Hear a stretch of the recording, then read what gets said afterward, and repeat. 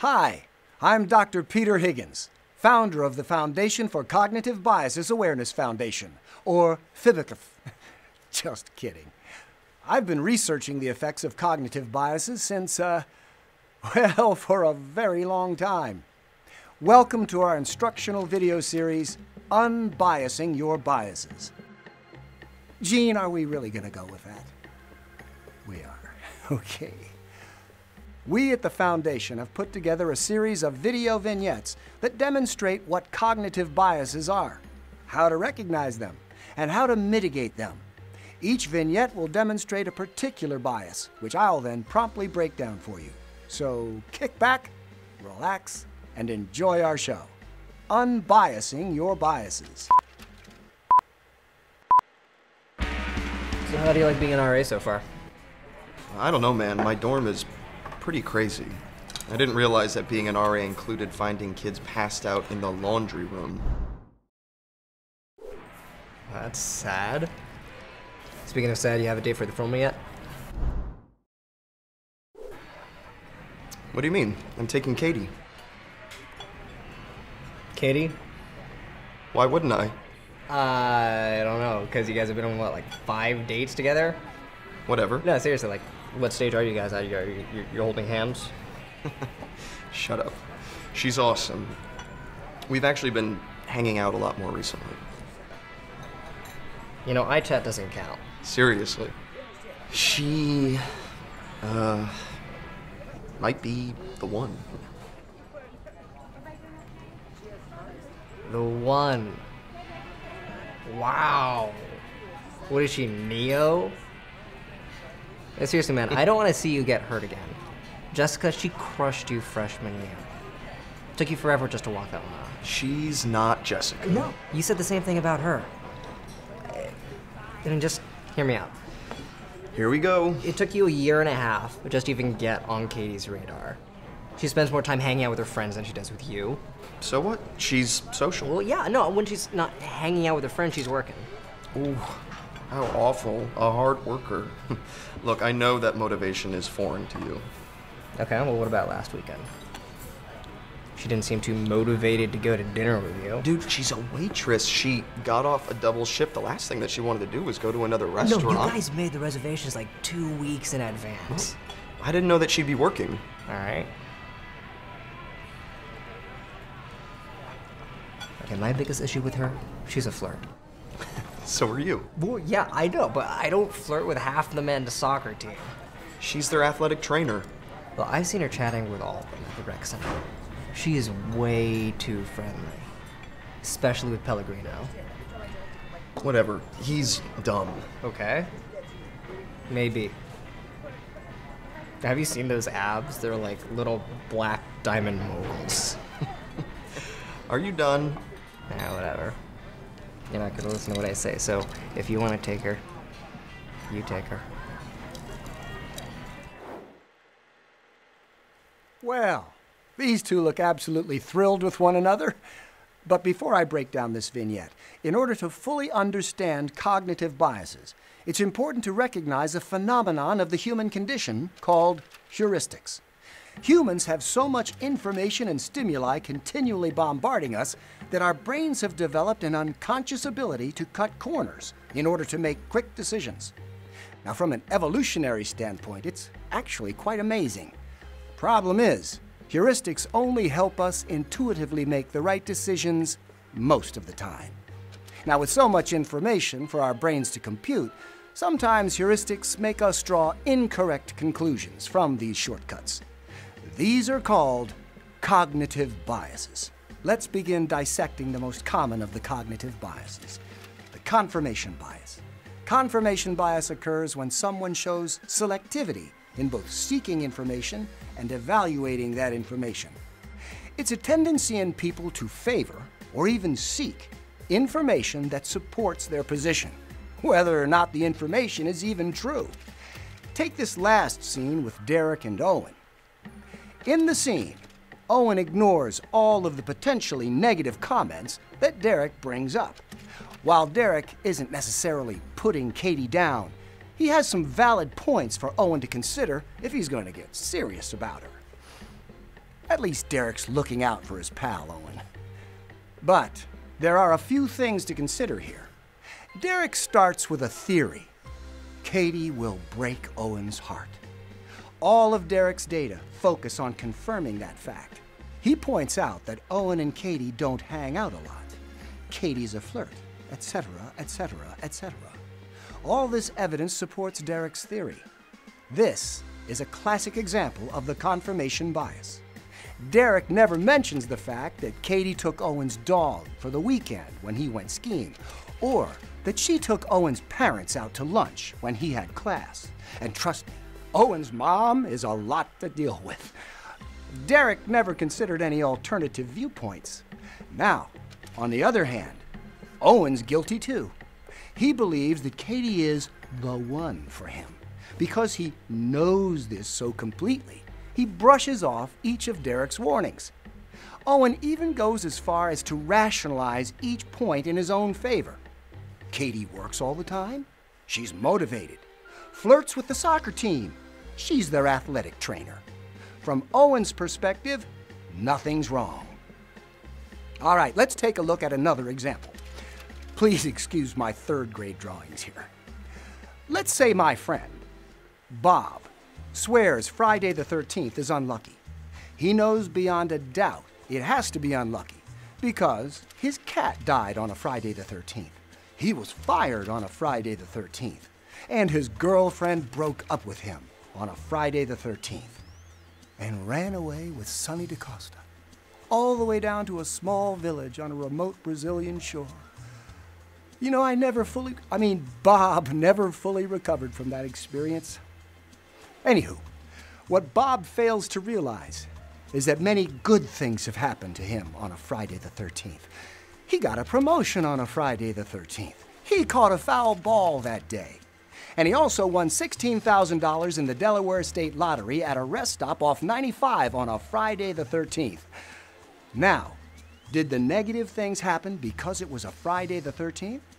Or did he just associate the bad things with Friday the 13th because of the popular superstition? Now, what's interesting is that Bob completely overlooks the positives that have occurred because he's so entrenched in his belief that Friday the 13th is unlucky. I mean, I couldn't tell you what happened on a Tuesday the 22nd, bad or good, you know?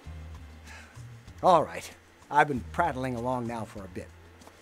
Let's take a gander at another example and see if we can pick up on another example of confirmation bias.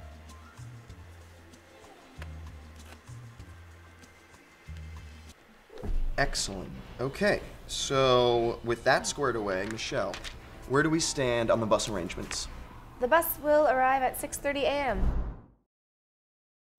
Perfect. Wait, did you book it through the Chinatown Express or the Chinatown Deluxe? Deluxe? I told you to go with the Chinatown Express. The Deluxe isn't reliable. Right, well, I did some research, and the Deluxe is the most popular bus service into the city. yeah, if you don't want to get there on time. Michelle, they're off schedule like 50% of the time. Well, then 50% of the time they're on schedule. Y'all, my sister had a trip canceled because the bus broke down in a parking lot. That could happen with any bus company. We would have a better chance of getting there on time if we took the Hindenburg. okay, you're only saying that because you have a crush on her. Okay, wait. I've heard some stuff about the deluxe, but I've, I've never actually taken it. So, what made you choose the deluxe? Like I said, most traveled. Anything else? It was cheaper. Of course it's cheaper. It's Look, I've taken it before. It's not that bad. Okay, fair enough. How many times have you taken it? Once or twice? I'm guessing once. my God. Okay. Easy, you two. Michelle, we we may want to consider what they have to say. I don't understand why everybody's getting so upset. Because you booked a bus company. Uh, look, a rave review. One time we took the Chinatown Deluxe and we left 40 minutes late because the bus driver was asleep in the back of the bus and no one knew he was there. That was probably written by a competitor. What? Are you serious? Oh, yeah. Nothing screams safety like a sleepy bus driver. Whatever, he was probably just getting some rest before the trip. Better before than during. Okay, look, we still have to decide on what to do here. But Michelle, these do sound like some pretty serious concerns. I mean, Amanda and Tim are obviously uncomfortable. I can see that. I just don't know why. It's not like the Express is that much better. Maybe not, but we might want to consider some other alternatives. There's the flyer, but their buses smell like feet. What about the train? That's way too expensive. Okay. Who takes the bus a lot?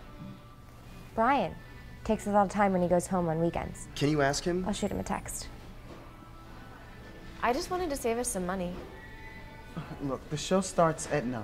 Do you really think it's worth risking being late to save like what, like two bucks a head? I saved us over a $100. We already spent nearly $2,500 on the tickets for the entire dorm to go to the show. Which is why I wanted to save us money on the bus. That doesn't do us any good if we never make it there. Ha. Brian says definitely go with the express. The deluxe can eat my. Okay, okay. What about the flyer? Didn't ask. Can you ask him? Already on it. Thanks. Guys, I really appreciate all of the work that we've put into this. I just want to make sure that we make the right decision so that way we can all enjoy it. Brian says the flyers, eh. Definitely go with the express. Is everyone okay with that? Yeah, they, they got decent reviews. Michelle? Yeah, that's fine. I'll take care of it.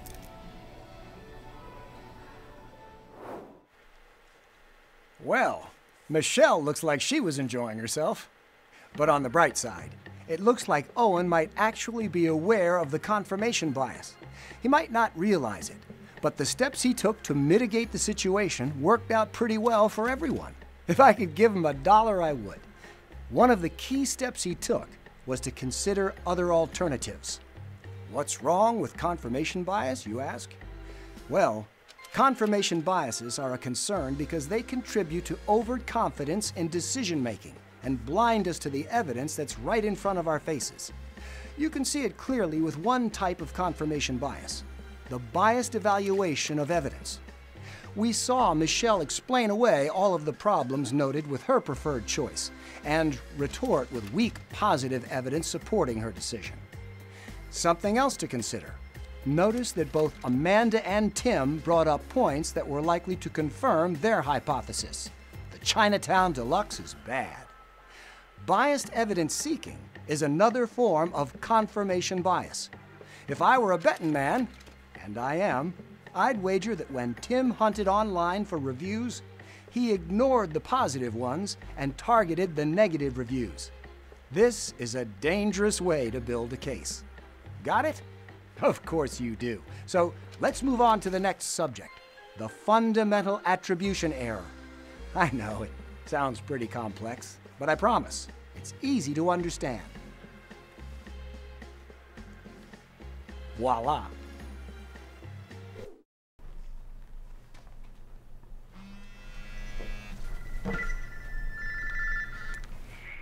Katie, where are you? Owen, Katie, where are you? I'm stuck at work. We got slammed. What? You're still there?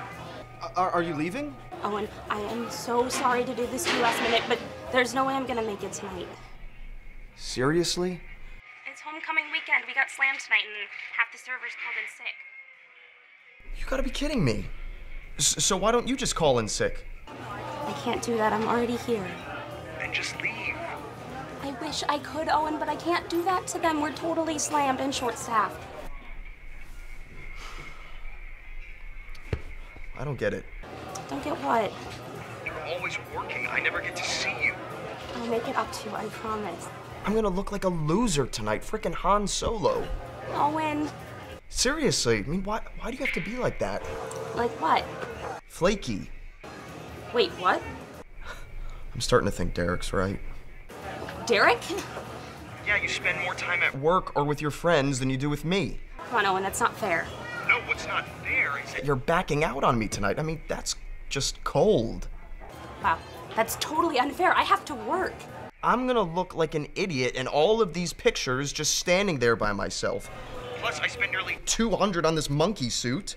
Owen, do you honestly think I enjoy working a double shift on homecoming weekend? I think you're completely unreliable.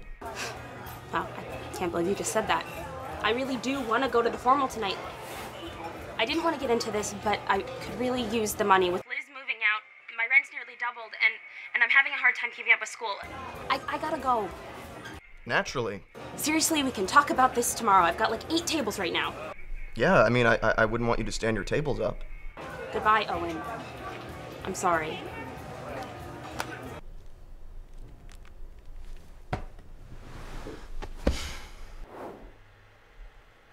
Owen, Owen, Owen. Whining like a five year old at bath time ain't gonna impress the ladies. Welcome to the fundamental attribution error portion of the series. The fundamental attribution error occurs when a person attributes someone's behavior to some feature of the person's personality and fails to consider the situation that the individual is in. They don't consider that the environment itself might have caused the behavior, not the person's character. What do I mean? Well, let's say my buddy Bob is sitting at a cafe and notices someone trip on the sidewalk. Bob views that person as clumsy. Now, after finishing his cup of joe, Bob walks back to his car and trips over the same crack. Bob, of course, knows that he isn't clumsy. It's a lot easier for him to see how the situation could cause a person to trip. The street is in complete disrepair. Same event, different interpretation. Bob's original assumption about the person tripping, they were clumsy, is the fundamental attribution error. I love that little guy. Now, let's break down our scene with Owen. The problem we have here is that Owen's reaction to Katie's phone call is based only on his perception of Katie's personality. I'm not justifying her decision, but Owen zeroes in on her character. Katie's flaky and unreliable, instead of getting a clear picture of why she's missing the formal in the first place. Owen looks solely at Katie's action, not going with him to the formal, and draws the incorrect conclusion that she doesn't want to be with him. She tells Owen that's not the case. He doesn't listen. He's too focused on diagnosing her personality traits. He sees her action of choosing to stay at work as a manifestation of her being non committal in their relationship. He should have considered the entire situation. He fails to consider the fact that the restaurant is swamped and she doesn't want to leave her coworkers in a bind, or that she has financial concerns. then our boy gets a teensy bit carried away and suggests that Katie is unreliable, a dangerous position for any budding relationship. Trust me, I'm a doctor. But why don't we take a look at another scenario and see what else we can learn about the good old FAE, fundamental attribution error? I saw him do it. Kyle, this is a very serious statement. So is stealing my laptop. How do you know that he stole it? I just told you I saw him. Okay, do you care to elaborate? Um, well, I was in the shower. When I got out, I saw him running out of the room with my laptop. Are you sure it was yours? Yes, it was a Mac with our school logo on it. Has he ever borrowed your laptop before? Once, when his died. And have you ever borrowed his? No, it's a PC. Look, I know he took it. And why is that? He's shady. He obviously steals things. He has a deaf child area sign hanging above his bed. Who steals something like that? Maybe he found it at a thrift store. Oh, sure, right next to the stuffed puppies.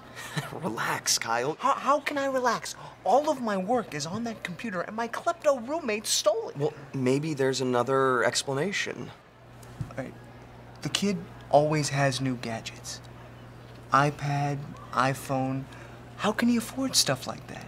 He doesn't work. His parents have no money. They drive a Datsun. He steals. Kyle, what you're accusing your roommate of is actually very serious. He could get expelled. Now, there's no other possible explanation? There can't be. He stole it, and he's going to pay. That's if he stole it, but you don't know for sure if he's a thief.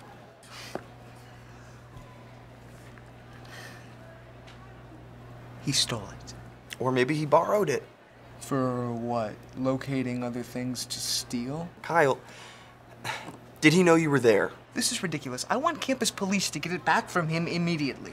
What I think we should do is talk to your roommate first. I mean, do you have any idea where he is right now? I don't know. A, a, a pawn shop or maybe your thrift store that sells deaf child signs? We have to be really careful. I mean, if you accuse I him. I am accusing him. Right, I know, but remember, if you're wrong, the two of you still have to live together. I'm not living with him anymore after this.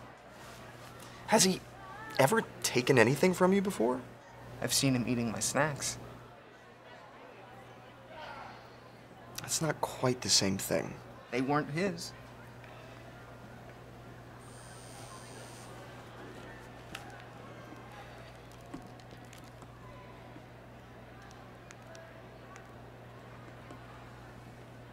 It's from my roommate. What's it say? He's a he's apologizing for taking my laptop. His his computer didn't work, so he borrowed mine. Well, I guess that solves this Scooby Doo mystery. Well, you know, he shouldn't have taken it. Everything's not always as it seems. Just uh, consider all the facts next time. Is is that him again? Yeah. He said he hopes I saw his note. I guess I didn't because I ran right here after I got dressed. I think we'll just keep this between us. No, I think you should get a new laptop.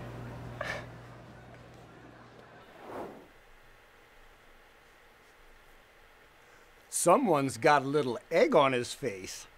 But at least he's helping me out, right? Looks like Kyle was guilty of the fundamental attribution error this time. In this scenario, Kyle actually witnessed an event. He saw his roommate run out of the room with his laptop. But Kyle failed to consider the surrounding circumstances of that action. Kyle saw his roommate leaving the room with his laptop and could only conclude that the roommate was a thief. As Kyle saw it, there was simply no other explanation. Now, Owen, on the other hand, assessed the situation correctly. He sought more information as to why Kyle's roommate left with his laptop. Owen asked Kyle to think about other situational explanations, including the possibility that he wasn't stealing, but had a reason he really needed to borrow it. He tried to keep Kyle from jumping to conclusions. The problem Kyle had was that he placed too much value in his opinion that his roommate was, in fact, a thief. What's difficult with the fundamental attribution error is that we're not even aware that we commit these errors in judgment. This is where heuristics, or those shortcuts our brain makes to reach decisions I talked about earlier, come in. It's not an easy task for us to override our biases. We need to constantly monitor our actions. And with that said, let's move on to my favorite bias the bias blind spot.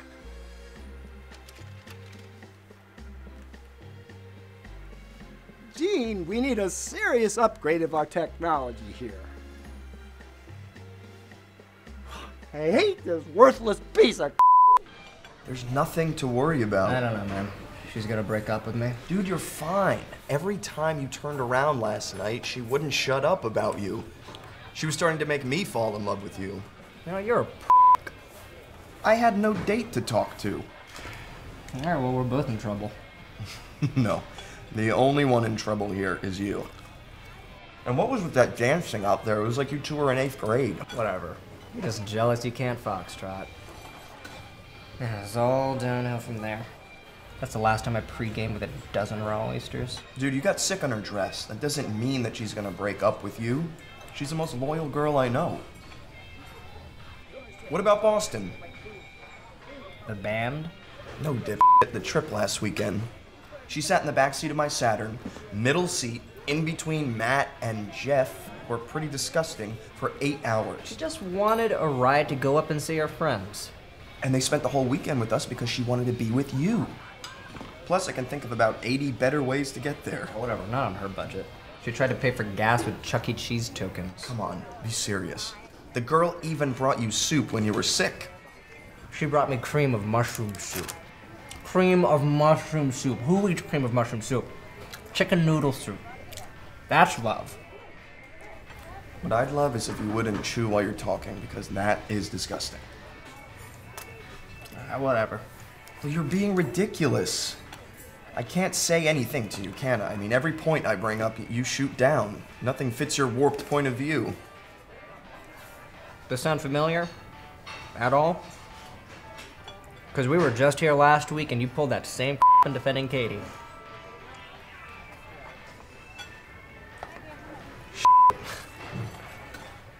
Actually, it, it, it does sound familiar. All right.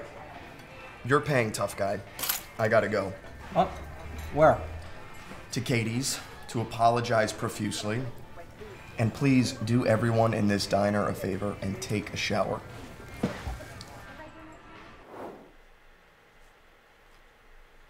My, my, what happened here? Looks like someone just picked up what I've been putting down.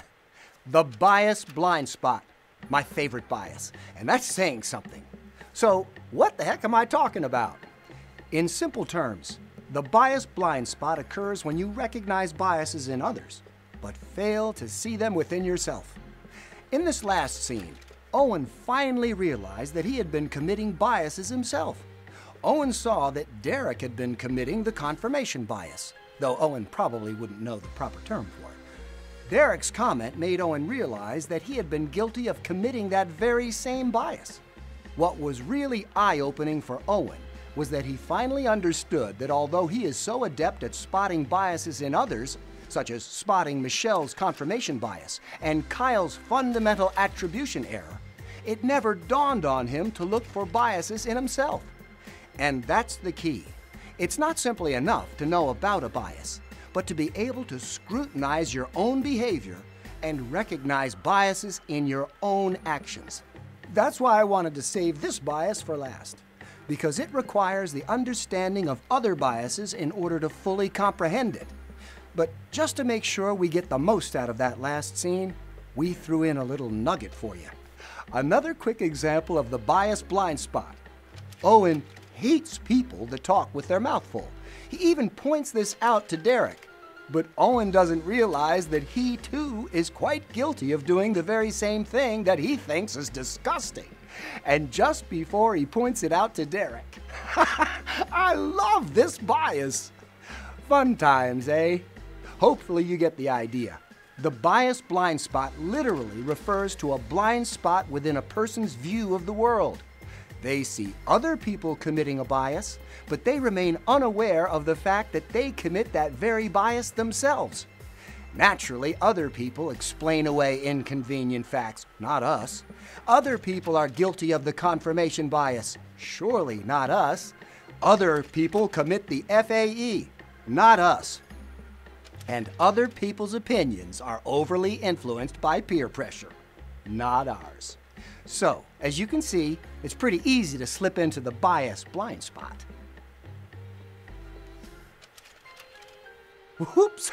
Well, I never said all this was going to be easy, so it might be time for a brief recap. Our first segment covered the confirmation bias.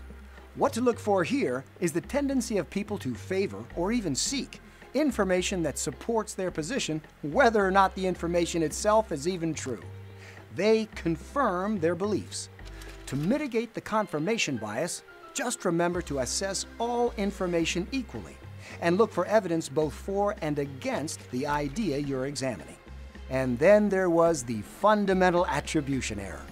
This was the error where a person attributes someone's behavior to the characteristics of that individual, but fails to take a complete picture of the surroundings that the individual is in. Now, to mitigate the fundamental attribution error, you should consider that the environment itself might cause a particular behavior, instead of a person's traits, dispositions, or values. And last, but not least, was the bias blind spot. It occurs when you recognize biases in others, but fail to see them within yourself. If we accuse others of bias by observing their actions, we need to realize that our biases can show up in our own actions. We covered the bias blind spot last because it actually requires the presence and recognition of other biases. Woo! Man, that was a lot to get through. But I did have a lot of fun, and I hope you did too.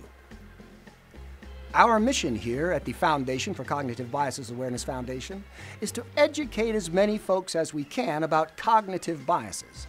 We want to make sure people don't fool themselves and end up drawing faulty conclusions and taking actions that won't work out the way they think they will. I hope we succeeded. And even if we didn't, just say we did.